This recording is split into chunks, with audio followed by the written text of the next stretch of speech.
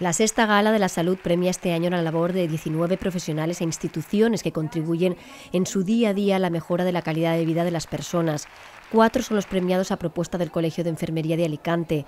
En la categoría Innovación en Procesos Asistenciales, el premiado es Félix Jiménez Jaén, matrón del Hospital del Vinalopó y creador del método IPAP para mejorar el estado físico de la embarazada y su preparación al parto.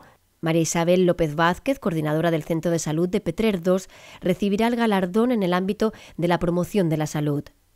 Las profesoras María Elena Castejón de la Encina y Noelia García Aracil serán galardonadas en la categoría Docencia e Investigación y el premio Comunicación y Educación para la Salud es para Federico Gas Huertas, enfermero del Hospital de la Vega Baja, por integrar las nuevas tecnologías en el ámbito de la promoción de la salud. Usana como entidad concedemos este año tres premios. Médicos Sin Fronteras, a la Asociación de Donantes de Sangre y luego el premio especial que es al Sanatorio de Fontilles. La gala tendrá lugar el próximo 27 de noviembre en el Auditorio Provincial de Alicante.